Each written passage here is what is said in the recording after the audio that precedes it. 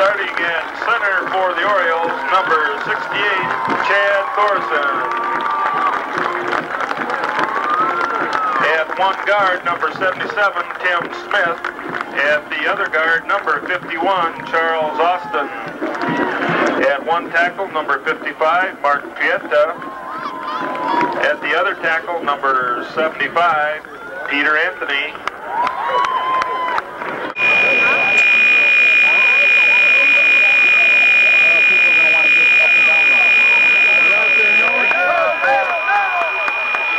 Noah Laird.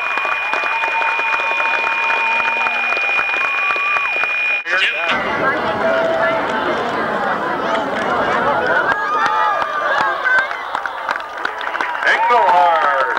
I guess we'll I guess we'll go with what we got though. Well, Ludington is on the attack after a Muskegon Heights punt.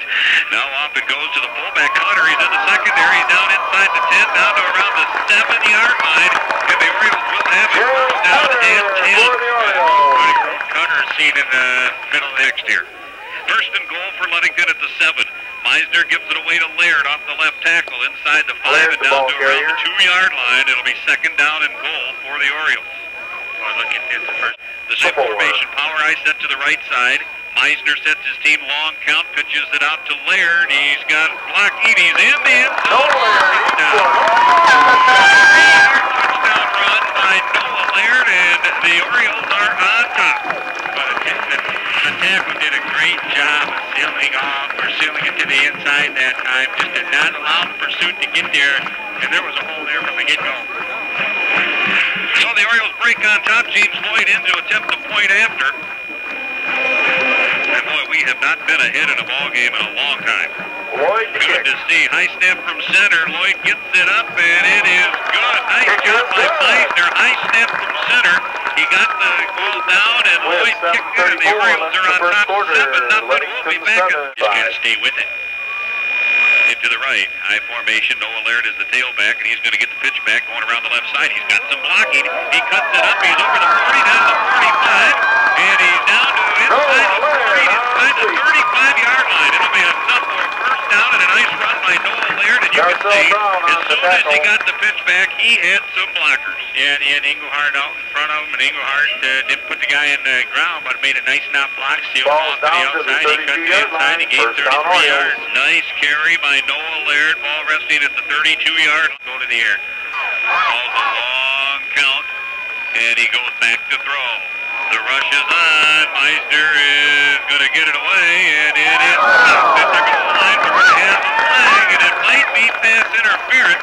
Pass Pass was intended for intended for Bonnesbeck, but he Bonnesbeck. got It looked like it hit him right in the hands, but he might have been uh, interfered with near the goal line. We'll wait and see. Well, obviously a defender over his back. At least that's what the one official called. But that time our receivers did not release off the line very well. They had a hard time getting out, and Meisner just had to wait. I think a little longer. Maybe they wanted to, but finally threw it out there. And you got a big target like Bonnesbeck. Just get it out there, and you got a chance To to the hard 10 and. Laird in the backfield. goal for the Orioles. Straight ahead it goes to Engelhardt, and he's going to on the carry. be stopped at around the six-yard line, about a three-yard gain for Engelhardt. Third and goal for I. Cutter's going to get the carry, and he's going to go in for the touchdown. Jay Cutter, a three-yard touchdown run, and the Orioles are on top, 13 to six. Well, we, you know, we, I, I think we autographed that play, they still couldn't stop because we brought Engelhardt and Cutter in, and all you had to do was follow Engelhardt the line. That's right where Cutter went. Engelhardt did his job, line did their job. Cutter went into the end zone. Play, and it is good. Two Boyd, step in the kick is play in corner. Dante Jones, the quarterback, and he's going to give it straight ahead, and not much running room this time. The ball carrier goes down before he could reach the line of scrimmage. Anthony was there. It looked like Fallman was there. Thorson was there. So Anthony nice Thorson play make the there. and Keenan. No gain on the play. In fact, it lost two. It'll be second down and 12. Loss of- Oriole football on WKLA AM. Jones sets his team. He'll send a man in motion. Back to throw goes Jones. He throws it out there, and it's going to be caught. Coming up to make the tackle was Hernandez. The ball was caught. It'll be a gain six. Orioles lead it. Two wideouts to the near side now for the Heights. Jones has it. He'll pitch it to the wide side, and good containment there by the Orioles. And that stops that play up. Anthony was there, so was Tim Smith. And Muskegon Heights will be forced to punt. And Ipkovich came up fast too on the outside, and they're obviously just going to take that, trying to take that outside. Dan mentioned that uh, we're going to try to keep them on the inside, and the guys are just coming up the field real fast.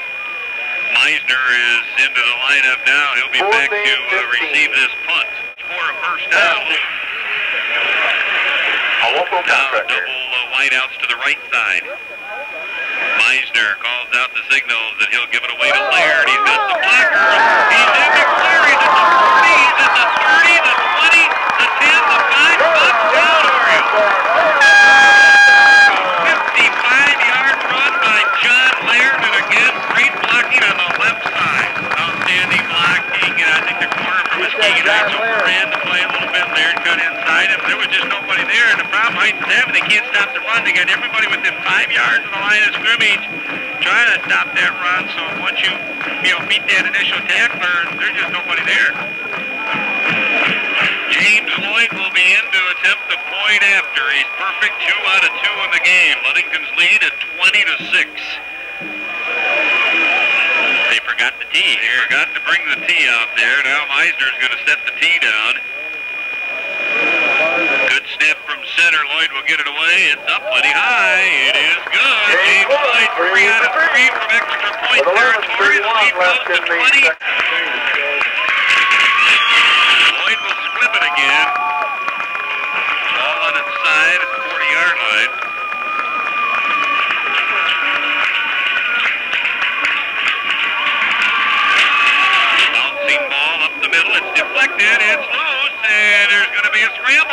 Scramble. Who's There's got the it? scramble. I thought the one Heights guy did a real nice job of coming up, and it looked like you know he tried to follow him, but now whether he ended up with it be another question. Well, we'll wait and see. Ludington's got it. Ludington recovered, and I didn't catch the number who recovered it at the bottom of the pile. Now, just Ball too hard for up here to catch. bottom of the pile. The catcher uh, got that. Six to go in the second quarter, 21 to six. Ludington leads it. Jones will give it away there, and they try to go wide, and nice tackle by number 80. That is Christopher Thalman. And he came through, and he stuffs up that play from his nose guard position. Or any time a lineman, but especially if a nose guard gets in there that quick. He, he, he read the play, but he also just how quick the center was able to get it. 24 yards on. Jones heads to the right. He's going to be hit and drop. Tried to run the option play there. Jones and on a the Orioles keeper. had that one defense nicely. Fonaspec was there from his defensive end spot. make. Ipkovich came up from the corner to help out. No gain on the play. It'll be second down. Drews for it. They'll throw it out there. And that's a lateral. That's a lateral. Ludington can pick it up and score it. And James Lloyd is going to pick it up and he's going to score it. James Lloyd is going to go in for the touchdown. Muskegon Heights, I think, thought it was just going to be an incomplete pass. It was a lateral. And James Lloyd picked it up at around the 30-yard line and he goes in for a touchdown. Well, you don't see that too often, and we thought they were going to punt. We had two guys coming up late because they were back to field the punt. Heights had, the, you know, the good numbers for themselves. They just wanted a quick swing out to the left, and somebody put some good pressure on the quarterback and hit him as a release, and he threw it behind the receiver. The receiver quit. And there were two Ludington defenders that knew that was a lateral, and they were going to pick it up and run it into the end zone. James Lloyd does so, and the Oriole lead is at 27 to 6. And we're going to have a flag on the play right now, and that'll delay the point after. It's booted, it's up, and it is good again. James Lloyd, four out of the extra point tries, and the Oriole lead is at 28 to 6. We'll be back to 6. I thought the effort last week against Puffer in that loss was, was big too. Now straight ahead it goes. A Looks like a fumble. Yeah, the way everybody's scrambling, it sure does. Looks like Ludington's got it too.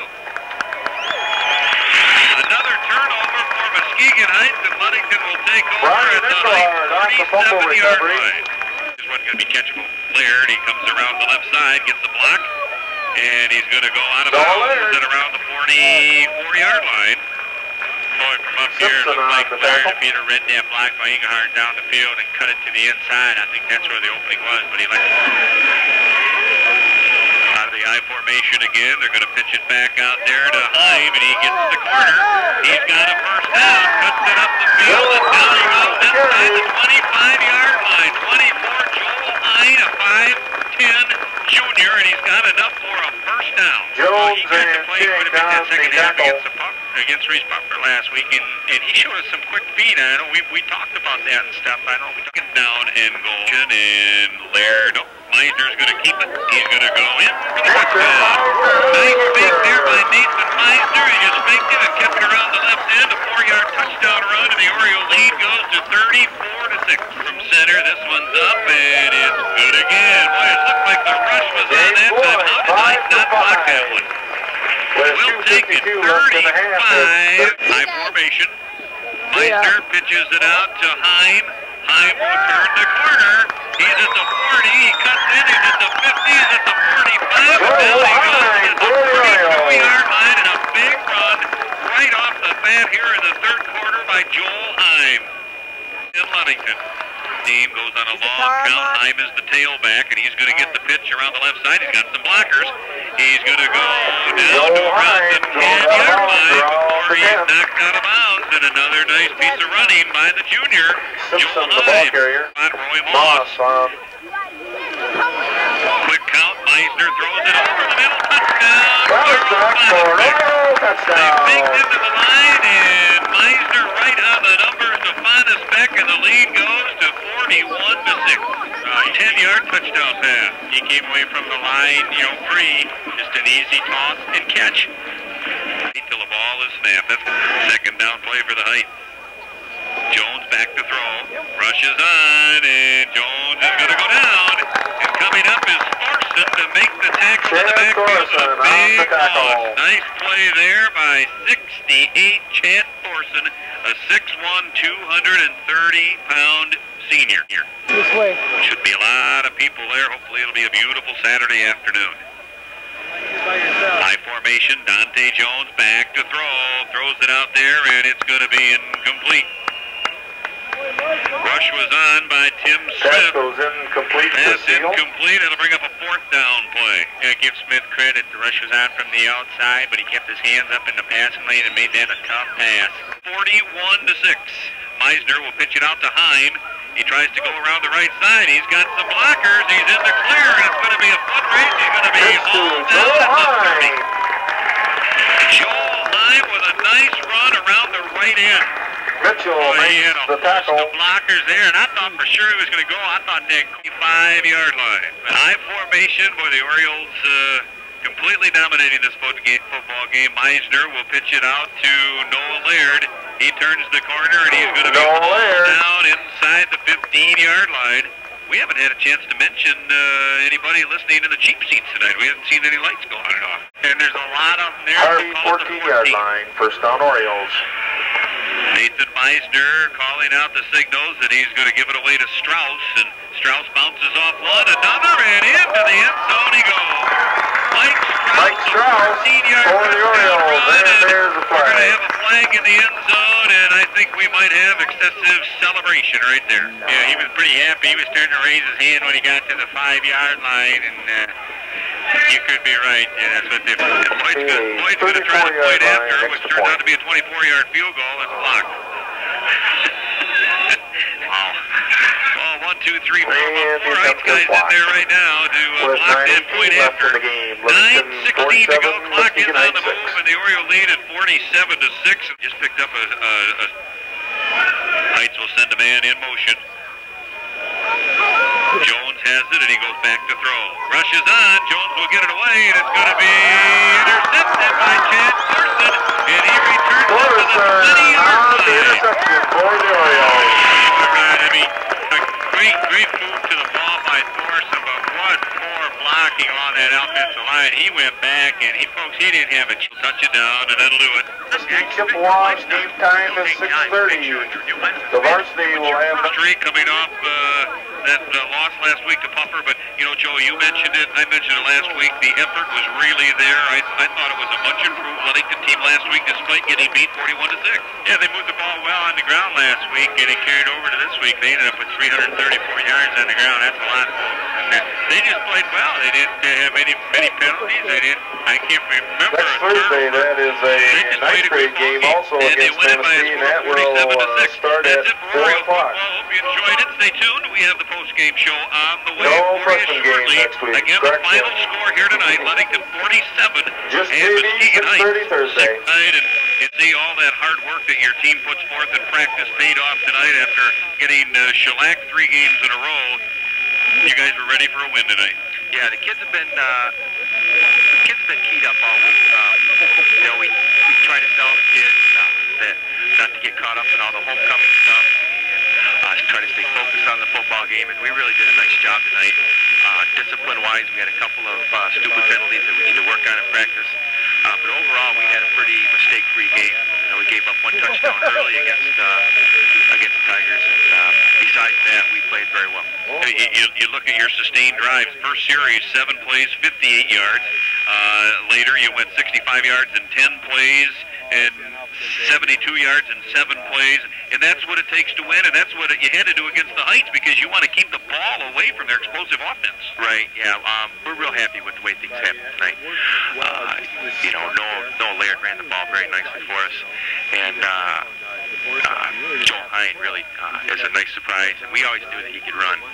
Uh, he's had a problem with uh, ball carrying, uh, handling the ball, and he really showed true tonight. And we're going to start using him quite a bit more. He's got some nice outside speed, and uh, you know, we look at it. Coach Mount uh, told me during the game is uh, we're running the ball outside against a very fast team, and uh, you know, even last week against Reeths-Puffer, we ran the ball well on outside against them too. Talking about you. Um, happy with the way things happened. And I, I think last week in uh, in the second half against Reeths-Puffer, all of a sudden it was like the line got a lot of confidence and the backs got a lot more confidence too, and, that, and that's and that set up this game tonight. Yeah, it really did. You know, I told you before the game that we really had a good week of practice, and you know, we really have had good weeks of practice all year. Uh, just we haven't been able to put things together, and tonight we finally uh, put a few drives together, and uh, that line really starts smelling the end zone. And uh, you know, this team can win, and that's what we have to sell these kids is that we can win, and all you got to do is be disciplined and play football, and things will take care of themselves after that point. Defense tonight did a nice job of containing the Muskegon Heights. Uh, they didn't get outside on you once, even when they scored the 70-yard touchdown run. It started inside before it went outside. I thought the defense really played well. Yeah, we really worked hard this week on our outside play, uh, keeping contained, uh, keeping the, you know, making sure the cornerbacks came up and forced everything back inside so the flow wouldn't catch that. And, uh, you know, it, it just happened tonight that uh, we, the corners came up, forced things back inside. Our ends played well. Uh, Bonnesbeck and uh, Timmy Smith played very well. Cutter played some defensive end, and they really forced Tim. things back inside. Tim. You just said Uh, they Timmy stayed Smith home. played very well. Uh, Muskegon Heights likes to try to do counters and pitches and uh, reverses, and uh, those defensive ends played well.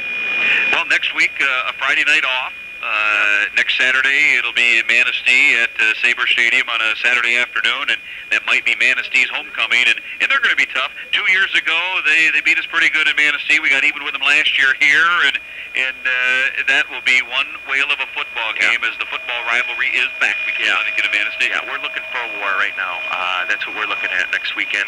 Uh, we're telling the kids that this send a message to Manistee, and uh, we hope that um, that they're thinking about us right now. And I know they've been thinking about us all year. They've come up to our scrimmage in early August and watched the scrimmage, so they're definitely worried about us, and it's definitely one that they want. But uh, we want a little more. Well, an outstanding performance tonight, and you have uh, you have perfect right to go celebrate this big win on homecoming, forty-seven Yeah. to six. And we'll be talking to you come next uh, next Saturday, Dan. Good job Okay. tonight. Thanks, sir. Dan Ledoux.